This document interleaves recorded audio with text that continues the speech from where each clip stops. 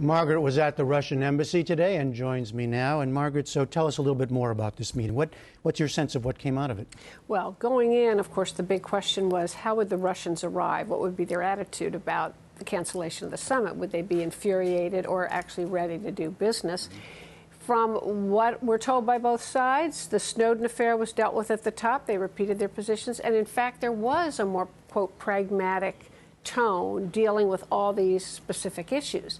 You could, however, see that from what President Obama said, at his news conference was scheduled after the mm-hmm. meetings, that as far as he was concerned, certainly there's no breakthrough.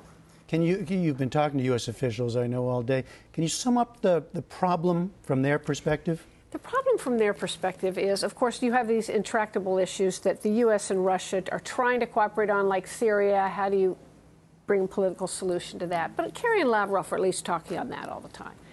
The thing that really stuck in the White House's craw, the administration's craw, was that President Obama wrote a very careful and extensive letter in April laying out what he thought they really should accomplish before this summit, and in particular, offering, suggesting further arms reductions, but offering what, at least the U.S. side, was a kind of creative way of dealing with President Putin's concerns about missile defense.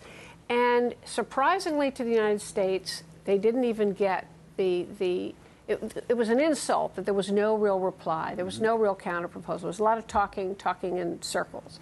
And so that to them was evidence that Putin just is not serious, really, about engaging with the United States right now. And how much of it, this personal Obama Putin relationship, is playing in? I mean, we heard the president talk a little bit about it. Yes. He also pointedly referred to his progress with then President Medvedev, yes. right? As opposed to President Putin. Absolutely. And that was, you know, calculated move on the president's part during those two years that Med, three years that Medvedev was president. They did make progress. Mm-hmm. It is rooted in their different personalities. I mean, the two men are oil and water. But I think it's also rooted in President Obama's temperament. That is, he is not seeking a chummy relationship for its own sake, as it's been described to me. I mean, this isn't Bill Clinton wanting to embrace, you know, Boris Yeltsin in a bear mm-hmm. hug. Mm-hmm. This is a transactional guy. He wants to have deliverables. And if he thinks that Putin isn't interested in that, and the, and the White House theory and the administration theory is that's because of Putin's own domestic political problems, then he's not interested.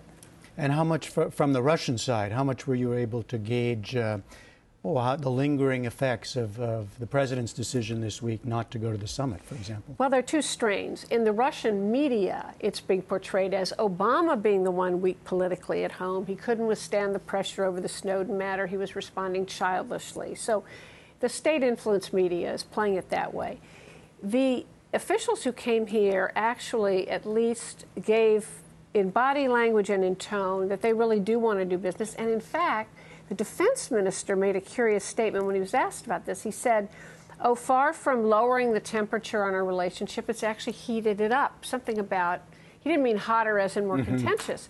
So uh, the, the, question is really, though, will there be meat on the bones? And, and on that question, the U.S. administration felt, okay, they seem to be taking the missile defense proposals more seriously. I won't get into the details of those, mm-hmm. but they still weren't prepared to come forward with the kind of proposal that then you could start having real negotiations and something for the two presidents to sign or agree on.